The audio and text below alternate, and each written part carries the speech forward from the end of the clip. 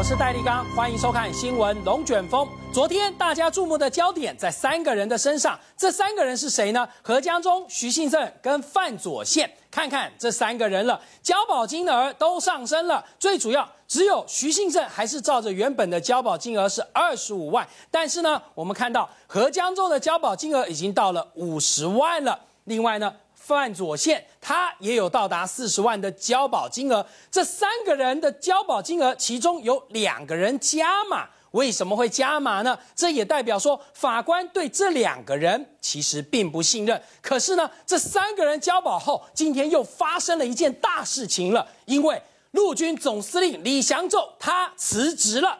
他辞职成功了吗？国防部长严明未留了他，但是他为什么在红案还没有侦破的当下却要辞职呢？其中有问题哟，因为这个问题是否是五四二旅的问题太大了，这个问题大到连李祥宙都没有办法承受，还是说呢，这政治的内斗之下？非要你李祥宙下台，我们今天都要来深度的剖析一下，请到几位来宾：资深媒体人江中博，你刚观众朋友晚安；资深媒体人彭华干，你刚好，各位晚安；资深军事评论员张友华，你刚好，大家好；五四二旅退伍的弟兄 X 先生，你刚好，大家好；还有前陆军总司令胡正普，大家好。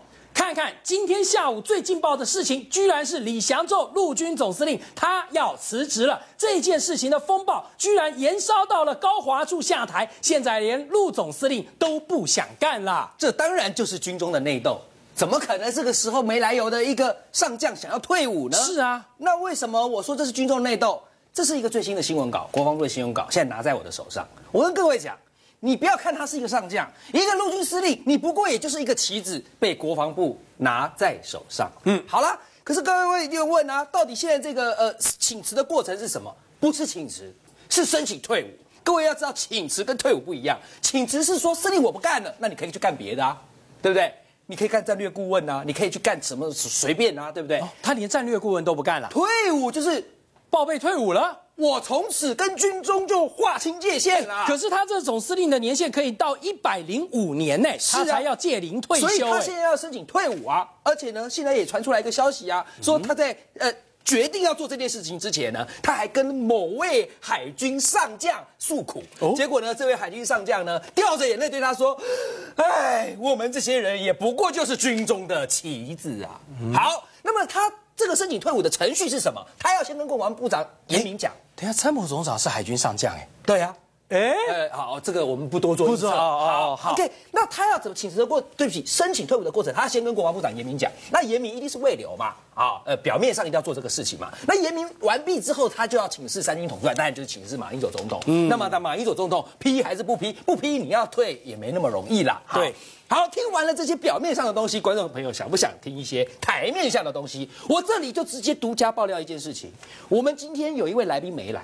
这位来宾，他曾经在前一阵子，国防部的某位将军级的将军告诉他，李祥宙这个事情，你们在节目中应该要狠狠的批一下，指的就是洪仲秋事件。嗯，这是一位国防部的将军告诉了我们某位来宾，你应该在节目中批一下李祥宙。你闻到了内斗的意味没有啊？哎呀，好浓的味道！你想问为什么？我就直接告诉各位，第一。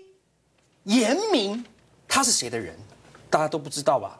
当然是高，当然是高华柱的人呐。因为之前在后勤的时候，他跟着高华柱高华柱当初在二零零三年到二零零四年当联勤司令部的司令的时候，那时候的参谋长是谁啊？呃，严明嘛。好，OK。所以高华柱上去之后，严明，你看他的官运是不是都非常顺遂？怎么样个顺遂？平步青云。对，当初呢，他哦，他后来做过了空军的副司令，后来又做到了这个呃副参谋总长，对不对？可是呢？当时空军司令是谁？雷玉琦是不是出事？呃呃，取席视同作战嘛。对呀。那雷玉琦出事之后呢？谁就顶他位置？嗯，严明嘛，对不对？啊，严明顶上去之后，后来没多久就做到参谋总长了。在做到参谋总长之后呢？哎，大家继续想想看，那他跟。高华柱之间的关系是什么？当然就是因为以前这个幕僚讲后勤的部分，这个是他的幕僚，他当过他的参谋长嘛，所以等于就是高华柱的子弟兵。好，各位不要以为子弟兵的关系只有这一层，还有第二层呢。还有第二，各位还记不记得六十四岁就要退伍嘛？那严明后来当上参谋总长的话，你六十四岁就要退伍。我他好像还有一年，没有，他就得在今年要退伍了啦。，哦就今年年底那如哦。果就要退伍的话，结果怎么办？有一个办法可以解套啊。哎，怎么解套？就就就严明条款呐、哦哎，我们在立法院推动参谋总长的任期可以延任啊，不受六十四岁的限制啊。嗯，好，结果嘞，偏偏就是过不了，谁从中作梗？谁哎，有人就怀疑，啊，不就是你哦。哦，是他哦。为什么？因为下届参谋总长热门人选是你呀、哦啊那现在严明没有办法在立法院因他的这个严明条款能够获得延任的话，那一直被阻挠，那怀疑是不是就是你？心结就越来越深啦。好了，那心结越来越深的情况下，这时候怎么办呢？怎么办那就等着看你会不会出事啊！哎、结果你刚好就洪仲秋的事情就出事啦。出事了之后就都到我刚才讲了，国防部就有将军级的人跟我们某位来宾讲，你们在节目中应该好好批李祥寿啊。嗯好，然后呢又扯到最后呢，现在他不想干了。对不对？然后你再去看看，如果刚刚这个故事全部联系起来，你们有没有发现一件事情？洪仲秋事件当初高华柱是不在国内的，哎对结果高华柱下台，那他会不会很哦？那当时谁在国内？杨念祖，就杨念祖反而没事，杨念祖反而变成部长。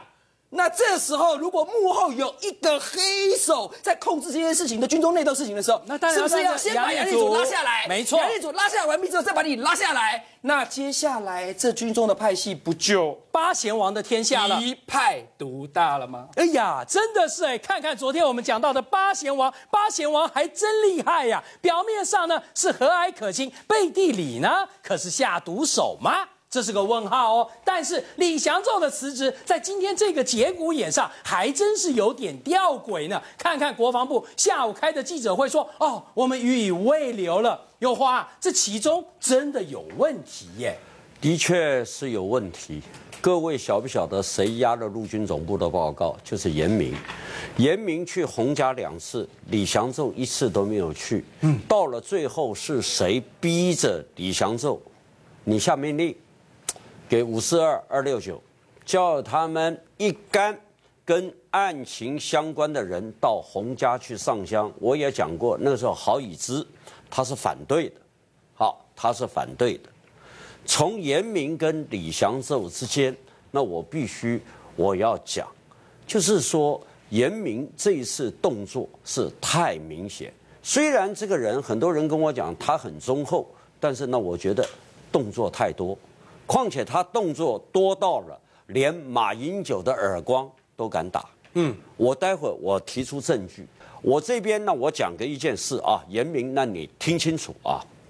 为什么军高检讲徐信正在里面扮演重要关键的角色？严明，你叫夏富华做的调查报告里面说视频会，徐信正根本不知情，怎么连长不知情？连长不知情。现在各位去比对一下陆军总部参谋本部跟军高检的诉状跟调查报告，你拿来比一比，通通不一样。那这这个问题就很大啦。对，问题就很大。所以，我不是说呢，我针对严明，反正因为我要准备告他了。尤其严明呢，我劝你最好赶快把罗少河放掉，因为我已经跟他对赌了。他说根本没有死亡笔记。好，我说有。七月十九号最后出现。我现在劝罗少河，你一百万，那我一百万，我们两个都一百万。我会找两个证人来证实这件事情。就是说，你一个堂堂军事发言人，一天到晚在那边说谎，除了说谎以外，还帮你闯祸。如果罗少河的话能够吃，啊，如果罗少河的话能够信，好死都能够吃，简直是叫不要脸。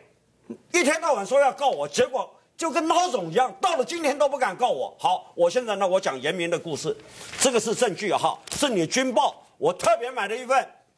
严明讲定调红案三点哈，要不要？那我念一下，以招公信。他说红案赵英瑜未依法行政，鬼扯！严明，你看看总统，看看总统讲的叫做违法乱权哦。你说未依法行政，你是不是想要帮这几个上士副旅长、旅长开脱？不，那你上任的第一天，那你召开联兵旅旅长政战主官馆的会议，你居然这样公开的讲，我看你头脑大概是坏掉了。这种新闻你也敢发布？第二个，禁闭室管理不当，马英九说什么？军中人权要维护。你说禁闭室管理不当，哪一个人管理不当？那你说出来，你参谋本部没有责任吗？好，第三个，马英九讲凌虐致死，他说是急救不当。我念个一段，严部长说：好，红案赵英仪未依法行政。禁闭式管理及人员急救不当等三项重大违失，严明，你在鬼扯什么东西？是你们报纸自己刊登的哦。军事发言人，你看看哦，这是那你发的新闻稿哦。严部长，好，免监定，好，你看这个文字都狗屁不通嘛。什么叫做严部长免监定？哈，改革决心大破大立，这个免是个罪字，所以军事发言人你是一个混蛋嘛？好，讲到这件事，未依法行政，未依法行政就没有违法滥权的问题哦。马英九讲的是违法滥权哦，那你讲的是未依法行政，那他等于把马英九总统直接打了一巴掌嘛？难不成你？你想要趁马英九出国的时候，你要搞那个其他小动作吗？